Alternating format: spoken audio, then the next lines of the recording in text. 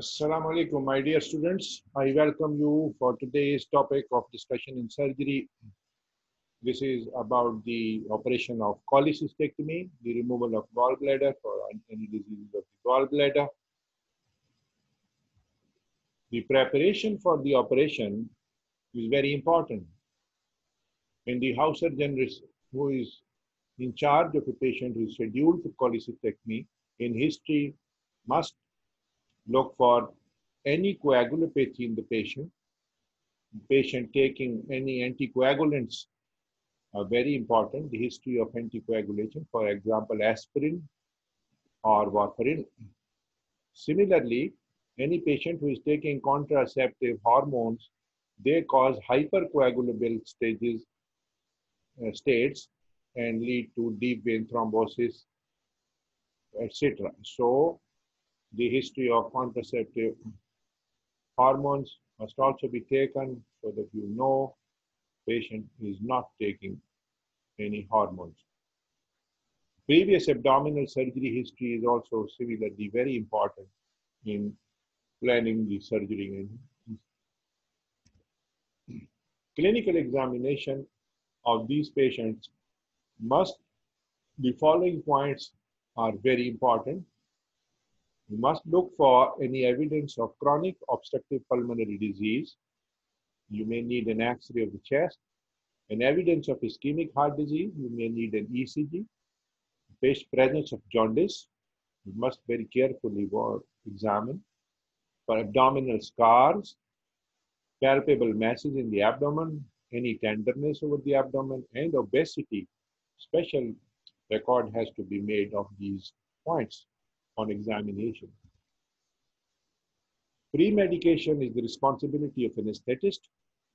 Prophylaxis against thromboembolism must be must include subcutaneous heparin use, the thromboembolic deterrents, the stockings, pneumatic leggings, and special cautions in patients who are on warfarin therapy they should stop warfarin before surgery at least a week before and must continue after four days or five days after the surgery. The urinary catheters and nasogastric tubes should be in place and the patient's informed consent must be taken before the surgery or anesthesia.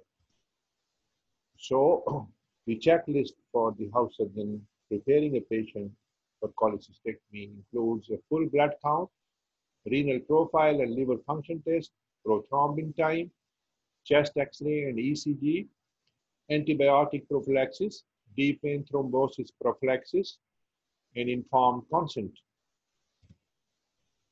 Then there are two types of cholecystectomy, the open cholecystectomy and the more recent uh, laparoscopic cholecystectomy. The steps are essentially similar the position of the patient is the patient is placed on the cassette changer table top so that the tip of the ninth costal cartilage is opposite the center of the grid. Foam wedges are placed under the lower left ribs and the left buttock so that the common bile duct will not be superimposed on the lumbar spine on cholangiogram. The plane of the grid remains at right angles to the X-ray beam in order to give clear definition. A foam pillow is inserted under the ankles to raise the calves of the table. The most commonly used incision is the Kocher's right subcostal incision. The other incisions that can be used are upper right paramedian or midline incision. The surgeon stands on the right side of the table for the paramedian and Kocher incision, but on the left for the midline incision. Personal preference is the main reason for selection, but in the obese patient or where there is a wide costal organ, uh, angle, the Kocher incision is preferred. Each incision gives good exposure and can be extended if, if required. The incision can be turned superiorly to the xiphoid process or continued into the left subcostal region. the right uh, Kocher's incision, the incision is placed 4 centimeter below the below and parallel to the costal margin and extends from the epigastrium in the midline to the 8th or 9th costal cartilage. The anterior sheath of, of the rectus sheath is opened in the line of the incision until both edges of the muscle which uh, can then be stretched over two fingers and gradually divided. Before division, any vessels are caught with some muscle as they tend to retract deep to the muscle. The peritoneum is opened between the forceps and if this fails to give adequate exposure, the muscle layers are divided laterally, taking care to avoid damaging the ninth intercostal nerve. The exposure is the right hand can be introduced now over the right lobe of the liver to allow entry of air into the subdiaphragmatic area, thereby permitting the liver to descend and making visualization easier. The anatomy of the biliary tree is assessed by carefully dividing the peritoneum on the anterior aspect of the cystic duct and continuing into, into the interior layer of the lesser omentum overlying the common bile duct. The diameter of the cystic duct and the common bile duct are noted, and by blunt dissection with the pledget, a triangle bounded by the cystic duct, common bile duct, and the porta hepatis is exposed. The cystic artery is seen in this triangle in most patients before the surgeon proceeds. The, he must have a clear picture of the arrangement of the duct system and the arterial supply. Failure to appreciate variations may result in division of the common bile duct, hepatic artery, or right hepatic artery. The index finger of the left hand is inserted into the foramen of Winslow with the thumb lying anterior to the lesser omentum.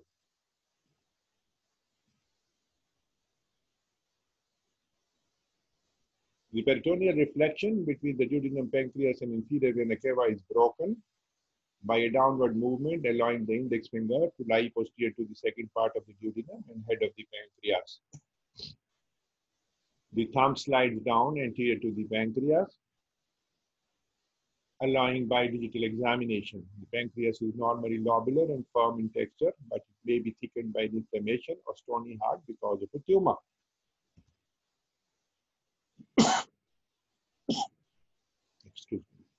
The artery should be ligated and divided first because the division of the duct before the artery can result in excessive tension on the later, which can then tear and retract into the porta hepatis.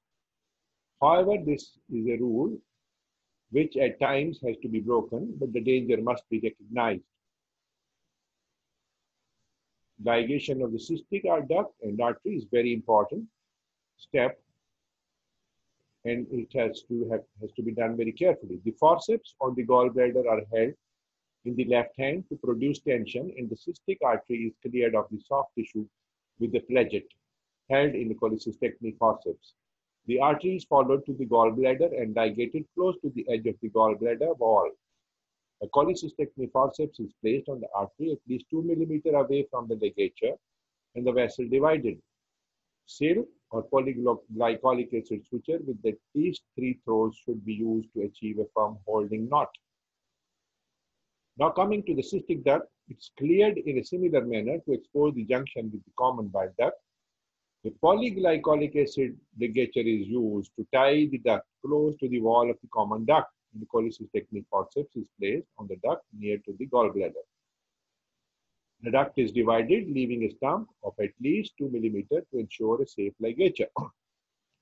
a seric or non-absorbable ligature should not be used because this can erode into the lumen and form the nidus for a stone. Removal of the gallbladder. The two cholecystectomy forceps are held now in the palm of the left hand to put tension on the tissues between the gallbladder and the liver bed the index finger of the right hand is inserted between the neck of the gallbladder and the gallbladder bed on the, in the liver and used to separate them very gently with blind blunt dissection. This method reveals tight strands which should be caught in forceps before division because they usually contain additional vessels. The edges of the mesentery will become apparent and are cut with scissors or a knife. Extra tension without such division may cause stripping of the capsule of the liver and troublesome bleeding. The gallbladder bed. After removal of the gallbladder, the bed is inspected for any bleeding points which are caught and ligated. These are usually in the edges of the mesentery. When the edges of the mesentery are well formed, they may be sutured, but stitches should not be inserted in the liver substance because bleeding occurs from the stitch holes. Any persistent oozing from the bed can be controlled by small packs of hemostatic gauze. The final assessment before closure and closure. The operative field, the operative field is inspected by, with particular reference to the ligatures on the arteries and the cystic duct.